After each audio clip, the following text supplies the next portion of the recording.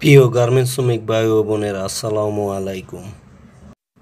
গার্মেন্টসে কোন পদে এবং কোন গ্রেটে কার বেতন কত টাকা বাড়ানো হলো, এ নিয়ে আজকে আলাপ আলোচনা করব। পুরো ভিডিওটা দেখার অনুরোধ।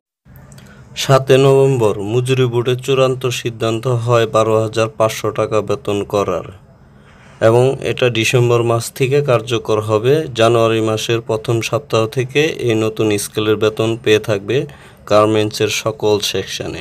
আমরা আজকে জানব কে কোন গ্রেডে পড়েছেন এবং গ্রেড অনুযায়ী কার বেতন সর্বনিম্ন কত টাকা করে বাড়ানো হয়েছে। আমরা আজকে দু হাজার তেইশ সালের বেতন নিয়ে কথা বলব।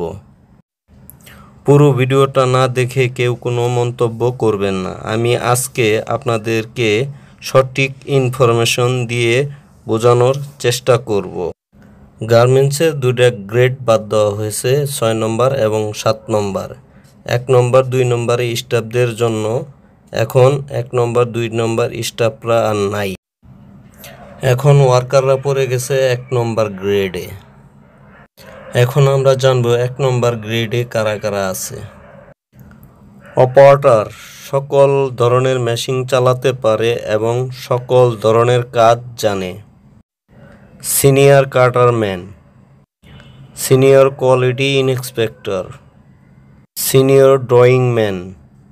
Senior exposure man senior iron man junior sample man junior mechanics. Junior line leader. A গ্রেডের আওতায় পড়ে গেছে। এ গ্রেডের সর্বনিম্ন বেতন ধরা হবে চোদ্দ হাজার সাতশো পঞ্চাশ টাকা। আমি আবারও বলতেছি, এ গ্রেডে সর্বনিম্ন বেতন ধরা হবে চোদ্দ হাজার সাতশো পঞ্চাশ টাকা। যদি দুই ঘণ্টা করে ওভারটাইম করে, তাহলে তার বেতন আসবে আঠারো হাজার পাঁচশো পঞ্চাশ টাকা। আমি আবারও বলতেছি এ গ্রেডে সর্বনিম্ন বেতন ধরা হবে চোদ্দ হাজার সাতশো পঞ্চাশ টাকা এবং সে যদি দুই ঘণ্টা করে ওভারটাইম করে, তাহলে তার স্যালারি আসবে আঠারো হাজার পাঁচশো পঞ্চাশ টাকা।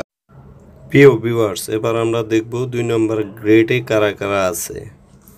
Operator, cutter man quality inspector needle man input man bundling man numbering man layman, poly man, holding man, packing man, spot removing man lineman এবং আয়রনম্যান এরা সবাই দুই নম্বর গ্রেডের আওতায় পড়ে গেছে।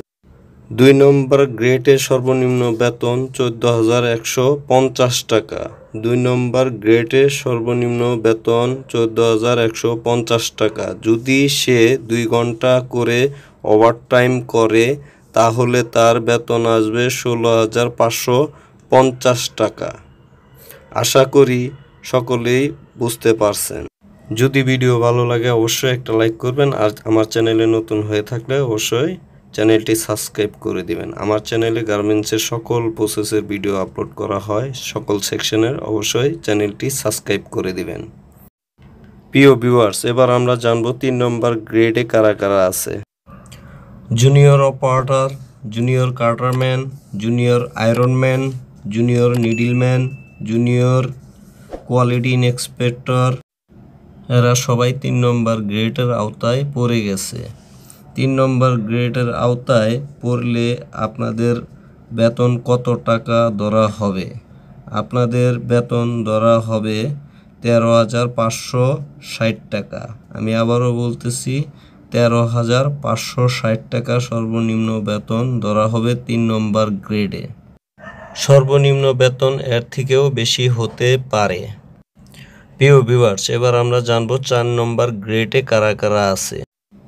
সাধারণ অপারেটর, সাধারণ কাটারম্যান, সাধারণ নিডিলম্যান, সাধারণ সিজারম্যান, সাধারণ কোয়ালিটি ইন্সপেক্টর, সাধারণ মার্কারম্যান সাধারণ ড্রয়িং ম্যান, সাধারণ বান্ডিলিং ম্যান, সাধারণ ইনপুট ম্যান, সাধারণ ডিস্ট্রিবিউটর। এরা সবাই চার নম্বর গ্রেডে পড়ে গেছে। এদের সর্বনিম্ন বেতন ধরা হবে তেরো হাজার পঁচিশ টাকা। আমি আবারও বলছি, এরা চার নম্বর গ্রেডে পড়ে গেছে। এদের বেতন ধরা হবে সর্বনিম্ন তেরো হাজার পঁচিশ টাকা। এবার আমরা জানব পাঁচ নম্বর গ্রেডে কারা কারা আছে।